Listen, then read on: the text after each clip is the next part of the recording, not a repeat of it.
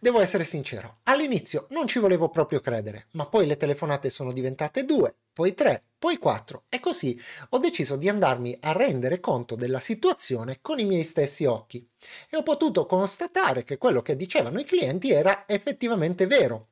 Prevalentemente su Edge, ma anche sui Chromium e su Chrome stesso, c'è la comparsa di oggetti misteriosi sotto forma di schede misteriose che si aprono senza apparente motivo. E allora andiamo a vedere insieme di che cosa si tratta e soprattutto come evitare questa cosa in modo che non succeda anche a te. Allora, ti senti pronto? Iniziamo.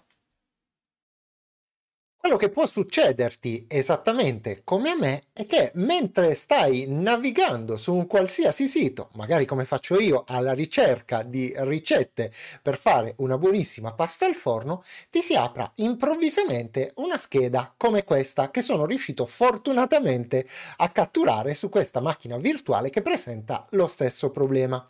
L'indirizzo a cui riporta è questo qui, https no startup windows edge reporting task. E poi la scheda recita questo, ups, i nostri servizi non sono disponibili in questo momento. La scheda viene chiusa ma tende a riaprirsi più e più volte fino a diventare un fenomeno davvero fastidioso. Ma a che cosa è dovuto tutto questo? E la risposta l'ho trovata grazie alla rivista di settore che si chiama Punto Informatico, che titola Chrome e Edge, come risolvere il bug della scheda fantasma. L'articolo infatti ci informa che da circa una settimana molti utenti di Chrome ed Edge hanno riscontrato un bug piuttosto strano. Ogni volta che aprono il browser si apre automaticamente una scheda che cerca di reindirizzarli a questo URL. Se si prova a visitare questo indirizzo ci si trova di fronte ad una sfilza di thread sui vari forum di supporto. E infatti ho provato a farlo anch'io ed effettivamente sono stato catapultato sul forum della stessa Microsoft che a quanto pare brancola nel buio. Infatti il nostro amico Microsoft Agent Han ci dice che è possibile fare una serie di operazioni per cercare di risolvere il problema. Insomma, come al solito, non lo sanno manco loro. Però in realtà Punto Informatico stesso ci riporta una soluzione che sembra essere efficace nel 100% dei casi. Quindi se anche tu hai questo problema, andiamo a vedere come risolverlo. E se invece non ce l'hai, andiamo a vedere come evitarlo prima ancora che ti si presenti. Casualmente da poco abbiamo imparato ad aprire l'utilità di pianificazione e ad utilizzarla e se per caso ti fossi perso il video tranquillo perché te lo lascio linkato qui in alto. Quello che bisogna fare come sappiamo è andare in basso sulla lente di ricerca oppure sulla barra di ricerca, cliccarci su e digitare utilità di pianificazione.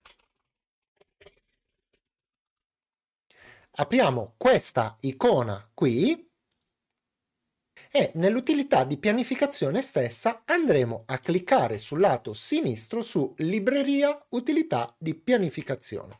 Dopodiché dovremo andare ad individuare nel caso di Edge questa voce qui, quella che dice Microsoft Edge Reporting Task Machine.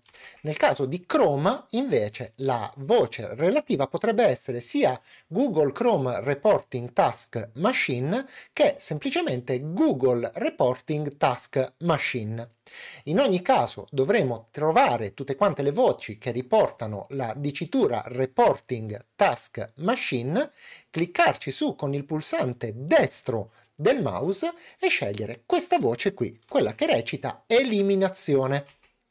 Clicchiamoci su e ci verrà chiesto se vorremmo eliminare questa attività.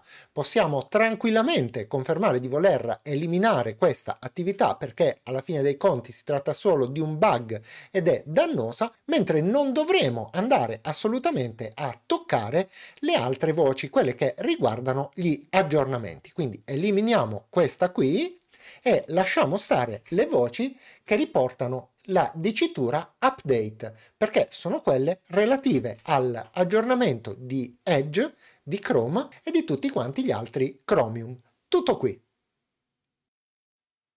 Una cosa ad onor del vero va detta e cioè che tutti quanti i clienti che mi hanno riportato questo bug utilizzavano solo ed esclusivamente Edge ed io stesso ho potuto riscontrarlo solamente su questo browser. Tuttavia le riviste di settore riportano l'indicazione che il fenomeno si verifica anche su Chrome e su tutti quanti gli altri Chromium, ma non ho potuto verificarlo di persona. E detto questo siamo arrivati al termine anche di questo video, che come sempre non può dirsi completo se non ti ho ringraziato per avermi fatto compagnia, salutato e dato appuntamento. Alla prossima!